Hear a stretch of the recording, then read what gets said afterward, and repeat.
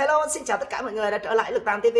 Thì uh, tiếp tục cập nhật những thông tin mới nhất về tình hình sức khỏe của ca sĩ Phi Nhung vào chiều ngày 13 tháng 9 năm 2021. Thì Lực Tàng đang cố gắng cập nhật những thông tin mới nhất, chính xác nhất để gửi tới tất cả mọi người. Tránh sự hoang mang lo lắng khi những thông tin thất thiệt trên mạng xã hội nó đang tràn lan. Và rất là nhiều những thông tin bịa đặt không có căn cứ cơ sở họ cũng lên họ làm thành một clip và làm cho tất cả mọi người gọi như là lúc thì vui mừng lúc thì gọi như là buồn bã. Tại vì thông tin nó quá nhiều. À, có lúc thì nói rằng ca sĩ Phi Nhung đã tỉnh táo và có thể là thở được không dùng đến sự trợ giúp ECMO và ca sĩ Phi Nhung gọi thều thào những cái câu này câu kia nói rằng là bác sĩ ơi hãy cứu tôi sau lưng tôi đang còn mấy chục người con à, rồi có những thông tin nói rằng ca sĩ Phi Nhung thở không được nữa rồi. Sức khỏe yếu lắm rồi không thể nào vượt qua. Và chờ ngày để gọi như là chờ giờ chờ ngày để bệnh viện phải trả lại cho gia đình. Thì tất cả những cái nguồn thông tin trái chiều đến hiện tại bây giờ là đang rất là nhiều.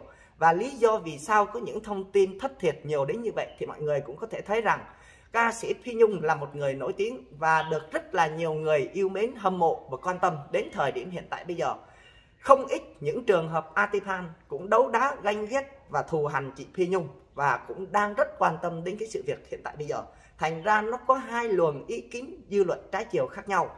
Một bên yêu mến chị Phi Nhung thì mong mỏi cho chị Phi Nhung sẽ được những cái thông tin tốt. Còn một bên mà ghét và thù hành chị Phi Nhung thì lại cho rằng mong cho chị Phi Nhung có những cái thông tin cực xấu để làm sao triệt hạ được chị Phi Nhung. Thì mọi người cũng có thể thấy rằng riêng lực tàng cập nhật lên đây là những thông tin chính xác, tốt cũng được, cũng có mà xấu cũng có. Rồi, ví dụ như tình hình sức khỏe của ca sĩ Phi Nhung chuyển biến như thế nào, được cung cấp từ phía bệnh viện trợ rẫy ra như thế nào, người thân cung cấp ra sao thì lực tàng sẽ cập nhật lên để gửi tới tất cả mọi người ngay lập tức. Không có chuyện mà xấu thì chúng ta giấu đi, mà tốt thì chúng ta đăng lên, đúng không ạ? Ở đây là lực tàng công bằng và nói là phải chính xác. Trước đó thì mọi người cũng có thể thấy là ca sĩ Phi Nhung đã có những cái nguồn tin qua đời xuất hiện bên Mỹ là những thông tin thất thiệt thì lực tàng cũng đã phân tích rất là nhiều rồi. Và những cái thông tin đang thở máy ECMO dấu hiệu bệnh tình chuyển biến nặng sau 17 15 ngày, tức là 15 ngày nằm ở trong bệnh viện trở lại thì đã có cái dấu hiệu trở nặng lại.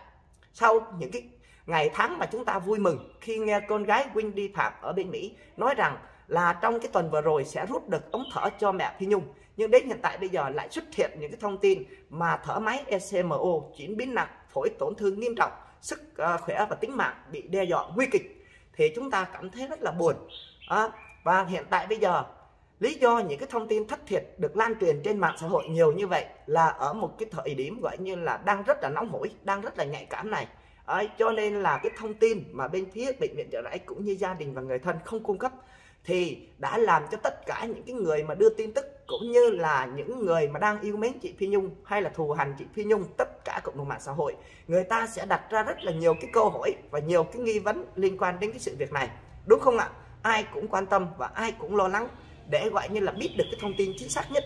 Nhưng ngược lại, bên phía bệnh viện trợ rẫy cũng như là bên phía gia đình người thân, họ quyết định một câu rằng sẽ siết chặt thông tin. Thì mọi người có thể thấy rằng là đâu có cái thông tin gì để cung cấp để mà biết được tình hình của ca sĩ Phi Nhung như thế nào ví dụ như những cái ca sĩ khác hay những cái nghệ sĩ khác nổi tiếng thì họ cập nhật liên tục liên tục liên tục để có những cái thông tin chính xác để chúng ta cung cấp lên. Nhưng ở đây họ không cập nhật, họ không cung cấp thì chứng tỏ một điều rằng là sẽ có những cái thông tin thất thiệt. Do chính họ bịa ra, họ suy nghĩ như thế nào thì họ sẽ lên họ nói như vậy, đúng không ạ? Ở đây thì chúng ta cũng không thể trách được những cái người mà đưa thông tin thất thiệt. Tại vì không có thông tin thì chắc cú là họ sẽ suy nghĩ ra. Tại vì họ đã làm truyền thông đường nào cũng kiếm like kiếm view lực tàng cũng vậy thôi. Nhưng không có thông tin để cập nhật thì đúng thật sự là quá là buồn. Và không những mình lực tàng buồn mà tất cả những cái khán giả đang yêu mến chị Phi Nhung cũng rất là buồn. Tại vì sao? Những cái thông tin tốt nghe như vậy thì tốt mà tại sao lại không đăng lên? Để cho tất cả mọi người cùng biết để mọi người không cần phải hồi hộp chờ đợi và lo lắng nữa. Đấy, ở đây là phải nói đến rằng là hồi hộp lo lắng và quan tâm đến mức độ gọi như là gọi như mạnh hơn cả người thân trong gia đình của mình nữa có nhiều người cũng đã bình luận và gọi điện đến rất những giọt nước mắt để mong làm sao cho sức khỏe ca sĩ Phi Nhung được ổn định. Nhưng đến hiện tại bây giờ thì bị siết chặt. Chúng ta cũng rất mong săn đón những thông tin mới xoay quanh cái sự việc này nhưng cũng rất là khó khăn mọi người ạ. Hiện tại bây giờ cái nhóm phóng viên bên phía nhà báo cũng như là những cái người mà quan tâm à, mà có cái à, quyền biết mạnh rộng với lại chị Phi Nhung á thì họ gọi điện đến cái đường dây nóng của quản lý ca sĩ Phi Nhung và những người liên quan đến ca sĩ Phi Nhung. Thì nhận được những gọi như là thuê bao quý khách không liên lạc được. Và họ không đáp trả lời những cái câu hỏi về ca sĩ Phi Nhung. Thì mọi người cũng có thể thấy rằng là trong cộng đồng mạng xã hội bây giờ người ta khi nghe được cái thông tin mà bệnh viện trợ rẫy cũng như người thân siết chặt thông tin thì người ta cũng cảm thấy rất là bực tức đó mọi người. Phải nói đến rằng là bực tức. Họ nói rằng là à, phi nhung chứ đâu có phải là thủ tướng hay là tổng thống hay là cái gì đâu mà phải siết chặt thông tin rồi phi nhung là một người ca sĩ bình thường. Nên nếu như mà tốt đẹp thì cứ đăng lên cho mọi người cùng biết việc gì mà phải giấu giếm này kia để gọi như là xã hội phải phải lo lắng và hoang mang như vậy để nhận lại những cái lời cầu chúc này kia không? À, thì khỏe thì nói khỏe mà bệnh thì nói bệnh. Rồi có thể là không qua khỏi thì nói không qua khỏi. Nó sinh lão bệnh tử của mỗi con người làm gì mà có thể là giấu được mà này kia đúng không ạ? Thì đó là cái ý kiến của cái khán giả thì lực tàng cũng ghi nhận. Nhưng mà lực tàng cũng xin nói với tất cả mọi người là như thế này trong cái tình hình đại dịch covid 19 này là nó rất là là gọi như là hoang mang. Và hiện tại bây giờ cả nước đang gồng mình chống dịch. Thì mọi người cũng có thể thấy là bên phía bộ y tế người ta thông tin về những cái ca mắc covid 19 hàng ngày. Và những cái ca xuất viện hàng ngày. Còn những cái ca mà gọi như là bị tử vong á, thì mọi người cũng có thể thấy rằng là họ cập nhật chỉ có sơ qua thôi. Và họ không nói rằng rõ ràng chính xác hay minh bạch bất cứ một cái vấn đề gì cả mọi người nên nhớ rằng họ làm như vậy để tránh cái sự hoang mang. Đó mọi người có thể thấy không ạ? Tại vì dịch bệnh đã căng cơ rồi. Ở chống chọi được với nó cũng là mệt rồi.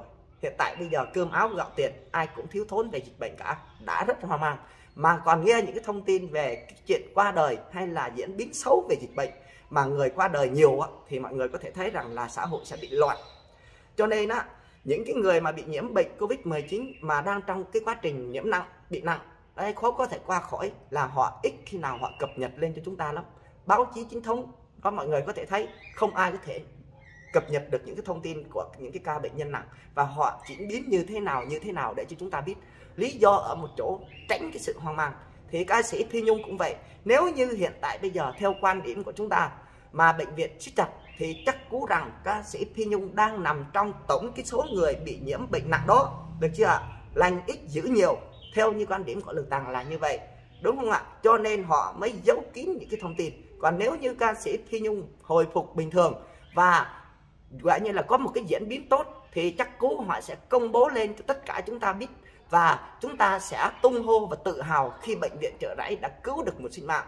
Khi bị nhiễm rất là nặng, phải sử dụng đến oxy liều cao, lọc máu, nhiễm trùng máu, phổi tổn thương nặng và ecmo tim phổi nhân tạo. Nhưng cuối cùng ca sĩ Phi Nhung vẫn khỏe mạnh à, cho nên là họ không có cớ gì mà họ giấu cả. Làm như vậy thì không ai hoang mang mà cảm thấy tự hào. Và chúng ta cảm thấy rất là vui đúng không ạ? Nhưng tại vì sao đến hiện tại bây giờ họ giấu nhận thông tin họ không cho xuất thông tin ra ngoài thì mọi người nên khẳng khẳng định cho lực tàng một điều rằng chắc cú là ca sĩ Phi Nhung đang nằm trong tổng số những cái người bị nhiễm bệnh rất là nặng. Và có thể rằng là liên quan đến tính mạng của mình được chưa ạ? À, có những cái thông tin nói rằng Phi Nhung đang chuyển biến rất là nặng còn nước còn tắt và các bác sĩ thì đang nỗ lực hết sức mình để chữa trị để gọi như là cứu cứu vớt được ca sĩ Phi Nhung lấy lại cái mạng sống giành giật sự sống trước cái ngưỡng cửa của tử thần. Cái đó cũng là một điều chính xác thôi chứ không có cái gì sai cả. Tại vì chúng ta cứ theo cái quan điểm khoa học mà chúng ta nói đi thì rõ ràng là có vấn đề gì đó họ mới giấu. Tốt thì đảm bảo họ sẽ đưa lên cho tất cả chúng ta cùng biết rồi.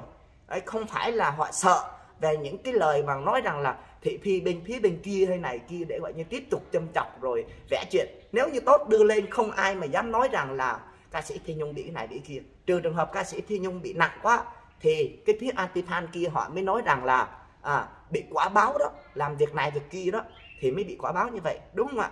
Chứ còn tốt thì chắc cú là phải đưa lên được không ạ? Có rất là nhiều người cũng đang rất là mong mỏi cho tình hình sức khỏe của ca sĩ Phi Nhung sẽ có những cái chuyển biến tốt đẹp hơn nhưng đó cũng chỉ là những cái mong mỏi thôi. Còn chúng ta phải chấp nhận sự thực. Chúng ta phải biết được rằng những ca bệnh nhân nặng ở trong bệnh viện trợ rẫy họ không cung cấp thông tin và không cho nhiễu loạn thông tin để tránh gây hoang mang cho dư luận. Ở đây không phải là mình bệnh viện trợ rẫy mà quy định của bộ y tế quy định ở chính phủ chúng ta là như vậy. Không cho nói ra như vậy mọi người hiểu không ạ? À, thì ý của lực tàng là muốn nói hiện tại bây giờ thì cũng đang là trong cái diện mập mờ mà chúng ta nghi ngờ. Nhưng mà chắc cú là ca sĩ phi nhung chưa có thể gọi như là khỏe mạnh, mà cũng chưa có những cái diễn biến tốt hơn đâu nha cả nhà. Đó. Thì ngày hôm nay xuất hiện một cái thông tin của chị Việt Thương cũng nói rằng là ca sĩ Phi Nhung đang yếu lắm rồi và đang nhờ sự trợ giúp của hai, ba bác sĩ túc trực 24 trên 24 thì những cái thông tin đó là những cái thông tin cũng chỉ là bịa đặt ra thôi. Chị Việt Hương hiện tại bây giờ ngày hôm nay đang theo dõi từ ngày 1 để coi những cái thông tin gì có về chị Phi Nhung hay không và chị ấy livestream trong những cái buổi đi phát quà từ thiện á, thì có hỏi rất là nhiều những cái câu hỏi về sức khỏe của ca sĩ Phi Nhung nhưng chị ấy gạt bỏ qua và chị ấy không cung cấp. Đó, thì mọi người cũng có thể thấy rằng là cái thông tin mà ca sĩ Phi, Phi Nhung bị như thế nào thì chắc cú Việt Hương là người biết rõ nhất nhưng chị Việt Hương cũng không thể nào tiết lộ thông tin. Và điển hình trong cái thời điểm như thế này cũng đã phát ngôn trên mạng xã hội nói rằng bác sĩ đang cực lực lo lắng cho tất cả rất là nhiều người, không riêng gì mình ca sĩ Phi Nhung trong những cái ca bệnh nặng ở bệnh viện trợ rẫy. Cho nên là tất cả mọi người không nên làm phiền về phía bệnh viện trợ rẫy, cũng như là các bác sĩ đang túc trực để cứu trợ những người có ca nhiễm covid 19 bị nặng. Ờ, để cho họ phải có thời gian này kia, chứ không vì một cá nhân mà làm ảnh hưởng rất là nhiều người khác. Được chưa? Thì như vậy thì chúng ta cũng khẳng định được rằng chị Việt Hương đang rất là bận rộn với công việc và chắc cú chị ấy cũng không thể nào mà biết nhiều thông tin liên quan đến chị uh, ca sĩ Phi Nhung được. Và có những cái thông tin ví dụ như cực xấu thì họ sẽ thông báo để báo về cho gia đình được chưa hoặc là cực tốt để họ gửi về cho gia đình để gia đình đỡ lo lắng chắc cú là những thông tin đó. Nhưng họ chưa cung cấp thông tin cho phía nghệ sĩ ca sĩ. Đặc biệt là chị Việt Hương đã được ủy quyền từ con gái Wendy Phạm là người đứng ra lo toan hết mọi sự việc, cũng như là cập nhật thông tin về chị Phi Nhung. Thì họ không cung cấp thì chắc cú một điều rằng là ca sĩ Phi Nhung vẫn chưa có một cái tiến triển gì tốt hơn hoặc là chưa có thể là diễn biến xấu đến cái mức độ mà bệnh viện phải cung cấp thông báo cho gia đình. Giống như thể trường hợp gọi như là chờ ngày để trả Phi Nhung trở về, hoặc là chờ ngày để rút cái ống thở ra để gọi như là không trợ, sự trợ giúp của oxy nữa và chờ ngày đẹp để cho chị ấy về với lại à, ông bà. Đó là những cái trường hợp mà chúng ta cũng phải đoán trước. Nhiều trường hợp ở trong bệnh viện chợ rẫy thở máy oxy à, ờ, thở máy ECMO ECMO e tim phổi nhân tạo đến khi không cứu chữa nổi thì họ vẫn cầm cự cho cái bệnh nhân đó sống được một thời gian ngắn nữa. Và thông báo với gia đình nói với gia đình rằng là hãy chọn ngày giờ đẹp để khi rút cái máy thở ra cái máy ECMO ra thì người đó sẽ ra đi. Đó là chọn ngày chọn giờ luôn. Cái đó là cực kỳ xui xẻo nhưng mà lực tàng cũng phải nói để cho tất cả mọi người hiểu. Cái máy ECMO á, mà đã gọi như là bó tay rồi á, thì chắc cú người đó thể không thể nào cứu chữa nổi chỉ có cầm cự được trong một thời gian gọi như là đến cái ngày giờ nào đất đẹp thì cho họ đi thôi ạ. Đó rất là nhiều người bị như vậy rồi mọi người ạ. Và điển hình nhà tàng có bà thím cũng vậy ạ. À, 60 tuổi và cũng đã có cái dấu hiệu chờ ngày đó thì đến ngày đẹp giờ đẹp là rút là ra đi luôn nha cả nhà. Tại vì tim phổi của mình hư hết không còn cái gì nữa gọi như là chống cự để sống được nữa. Cái khi rút ra thì cái tim phổi nhân tạo khi không có nữa coi như con người mình đã hết. Được chưa ạ? Đó là những cái thông tin xui xẻo nhưng mà tàng cũng muốn cập nhật. Đó là những cái thông tin về cập nhật về dịch bệnh cho mọi người để mọi người biết hơn.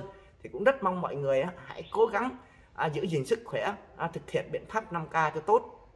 Và à, gọi như là chống lại cái con Covid này một cách gọi như là văn minh lịch sự để chúng ta bảo vệ bản thân mình cũng như là bảo vệ cộng đồng mạng xã hội và toàn xã hội đó. Chúng ta hãy cố gắng giữ lấy bản thân mình trước rồi bảo toàn luôn cho tất cả cộng đồng mạng xã hội. Cái đó là cái quan trọng nhất đến thời đại, thời điểm hiện tại bây giờ. Còn ai mà xui xẻo mà dính vào nó rồi á, thì không biết trường hợp gì xảy ra. Người mạnh khỏe thì có thể là là tốt hơn một tí, nhưng người yếu có bệnh nền, những ông bà già, những đứa trẻ thì rất có thể không thể nói được cái chuyện gì trước đâu mọi người ạ. Đấy, còn trường hợp chích hai mũi covid 19 rồi, nhưng mà vẫn bị nhiễm thì cũng là cái chuyện bình thường. Và những người được chích thì có khả năng họ sẽ có sức đề kháng mạnh hơn để chiến đấu với con covid. Và cái khả năng tử vong tỷ lệ tử vong nó không cao bằng những người chưa chích đúng không ạ? Và ca sĩ phi nhung thì chưa có chích thì mọi người thấy là rất là nhiều cái bất lợi đến với ca sĩ phi nhung đặc biệt là chưa chích mũi covid nào được chưa chưa chích cái vaccine covid một mũi nào. À, và bệnh nền chắc cú là có được chưa và đến khi lại chuyển đến cái giai đoạn bệnh nặng phải dùng đến máy thở này kia lọc máu thì đã có một dấu hiệu cực nặng. Đấy, chỉ trừ trường hợp có phép màu ví dụ như ông phi công người anh đó mọi người thì mọi người cũng có thể thấy là trước đó là người ta cứu vớt ông phi công người anh ở trong bệnh viện trở lại chứ ai thì toàn bệnh toàn bác sĩ giỏi không? Nếu như ông phi công người anh thoát được thì chúng ta cũng cầu mong làm sao cho chị Phi Nhung cũng giống như ông Phi công người Anh cũng sẽ vượt qua được giống như ông ấy và về với gia đình cũng như là những cái đứa đứa nhỏ nữa. Đấy, và cái bất lợi thứ hai mà chúng ta cũng có thể thấy rằng là cái bất lợi về tinh thần. Chị Thi Nhung hiện tại bây giờ ở Việt Nam không có người thân thích không có gia đình. Toàn bộ là có một cái người con ruột là Wendy Phạm là ở bên Mỹ cũng như là em trai cũng ở bên Mỹ luôn. Còn ở Việt Nam thì không có ai. Ngoại trừ những cái đứa con nuôi mà chị ấy nuôi với lại những cái người bạn à, gọi như là trong giới nghệ sĩ giới showbiz thì biết nhau vậy thôi. Chứ còn không có một người thân nào cho nên rằng là cái sự ừ, lo lắng về tinh thần cũng như là cái cái sự mạnh mẽ về tinh thần nó cũng không được nhiều. Nhưng cũng rất may á, được sự ủng hộ của cộng đồng mạng xã hội. Rất là nhiều người đang quan tâm và ủng hộ chị Phi Nhung cũng đã để lại rất là nhiều những cái lời chúc trong những cái bản tin của tất cả mọi người đưa tin về chị Phi Nhung. Và mọi người thầm cầu chúc cầu an cầu nguyện cho chị Phi Nhung được vượt qua cái bạo bệnh này. Thì như vậy thì cũng là cũng đạt tiêu chuẩn nếu như không có sự ủng hộ của tất cả mọi người. Và chỉ có những cái sự trù ẻo từ cái phía Atipan thì không biết chuyện gì sẽ xảy ra về cái tinh thần đối với chị Phi Nhung. Những người bị nhiễm bệnh Covid-19 nặng, cái tinh thần là cái quan trọng nhất. Ví dụ như chị Phi Nhung mà có tỉnh táo dậy, mà có một cái tinh thần cực tốt, về những cái tin tức cực tốt ở phía bên ngoài, những người thân của chị ấy như thế này, như thế kia, thì đảm bảo chị ấy khỏe rất là nhanh. Nhưng còn nếu như mà đang trong cái giai đoạn mà gọi như là thập tử nhất sinh, có thể tỉnh táo mà nghe những cái thông tin cực kỳ sốc và cực kỳ bất lợi, thì khả năng tinh thần xuống thì khó rất rất khó để chữa trị. Tại vì con covid 19 này chưa có thuốc đặc trị nó. Nha mọi người, chỉ quan trọng nhất là cái sức đề kháng của con người mình thôi. Cho nên rằng là tinh thần là nó sẽ ảnh hưởng đến sức khỏe. Sức, tinh thần tốt, sức khỏe tốt thì con covid sẽ bị tiêu diệt, được không ạ? Đó, thì rất mong mọi người để lại những cái lời bình luận, ủng hộ chị ấy, cầu nguyện cho chị ấy ở bên dưới. Còn những ai mà đang ganh ghét À, và thù hành chị Phi Nhung thì lực tàng cũng mong tất cả mọi người hãy dừng ngay cái việc công kích trong cái thời điểm hiện tại bây giờ. Tại vì đây là một mạng sống của một con người chứ không phải là mạng của một con kiến cỏ. Cho nên là mọi người hãy cố gắng à, tha thứ trong thời điểm hiện tại bây giờ. Rồi sau này chị ấy có khỏe mạnh về như thế nào tội vạ như thế nào thì để pháp luật vào cuộc. Cũng rất mong mọi người đừng phán xét gì trong cái giai đoạn thập tử nhất sinh của một sinh mạng của một con người đang ngàn cân treo sợi tóc ạ đó, đó là cái lời mong mỏi lớn nhất của lực tàng là như vậy. Được chưa? Còn mọi người nói sao lực tàng nói dài nói dài thì lực tàng phải nói như vậy đó mọi người. Không nói thì không được. Lên nói thì phải nói như cho cho tất cả mọi người hiểu hết những cái ý. Thì cái sức khỏe của ca sĩ Phi Nhung rút gọn lại một câu hiện tại bây giờ là chúng ta cũng chưa biết thông tin. Nhưng theo như quan điểm của lực tàng thì lực tàng nghĩ rằng chị Phi Nhung vẫn đang trong cái giai đoạn nguy kịch và có cái dấu hiệu chưa thể tốt hơn một tí nào cho nên là họ chưa công bố thông tin là ở cái chỗ đó đó mọi người ạ à, tránh cái sự hoang mang lo lắng cho tất cả mọi người. Được chưa ạ? Còn những cái thông tin qua đời về Mỹ là bác bỏ. Những cái thông tin Mạnh Quỳnh à, gọi như là khóc lóc rồi vợ Mạnh Quỳnh ghen rồi chị Phi Nhung tỉnh dậy rồi à, ghi di chúc nhớ này nhớ kia Mạnh Quỳnh rồi sinh vợ Mạnh Quỳnh này kia là những cái thông tin nó hoàn toàn sai. Đúng không ạ? Và chúng ta cũng chỉ là ghi nhận để gọi như là có một cái tính giải trí thôi. Không nên tin tưởng vào những cái câu chuyện mà gọi như là theo hoa dịch bướm như vậy à, còn những thông tin lực tàng đưa lên có thì đưa mà không có thì mọi người cũng thông cảm. Là lực tàng chỉ muốn cập nhật tại vì đang còn rất là nhiều người người ta muốn theo dõi lực tàng lên để cập nhật cái thông tin. Nhưng mà không có thông tin thì cũng phải chấp nhận nói lại những cái thông tin cũ rồi ngồi vạch ra những cái à, gọi như là cái suy nghĩ theo cái kiểu khoa học mà chúng ta à, gọi như là biết được thì chúng ta nói để chúng ta à, cùng nhau phân tích và cùng nhau để lại những cái ý kiến xem có đồng quan điểm với nhau như vậy hay không đó, còn rất là nhiều người cũng nói rằng là ca sĩ phi nhung khỏe rồi thì cái đó cũng chưa thể nào mà phân tích được. Nếu khỏe rồi thì chắc cú họ sẽ công bố lên cho tất cả chúng ta cũng biết đúng không ạ? Còn nếu như có một cái gì đó bất lợi cho nên là họ mới không nói ra như vậy đó. Thì chúng ta vẫn chờ đợi về phía của bệnh viện trợ rẫy cũng như là các uh, người thân trong gia đình họ mà cập nhật được thì chúng ta cũng rất là mong làm sao họ cung cấp thông tin lên. Mặc dù là một tin nhỏ nhất mặc dù là một người nào đó thân cận nhất chỉ cần nói ra một câu rằng phi nhung đã khỏe lại hay là phi nhung đang mệt lắm hay là phi nhung đang yếu lắm thì để chúng ta còn biết đường nha cả nhà. Thì đó là cái mong mỏi lớn nhất của lực tàng. Và đặc biệt là chắc cũng rất là cũng là cái mong muốn của rất là nhiều người đang theo dõi cái sự việc này. Rồi thì có thông tin gì mới? Lực tàng sẽ lên liên tục, mọi người cứ yên tâm, mọi người hãy nhấn vào cái nút đăng ký cũng như ấn vào cái nút like cho lực tàng tv sẽ có những thông tin mới thì mọi người sẽ cập nhật được liền. Rồi, cảm ơn tất cả mọi người. Chúc mọi người có một sức khỏe bình an ạ. Xin chào và hẹn gặp lại mọi người những clip tiếp theo ạ.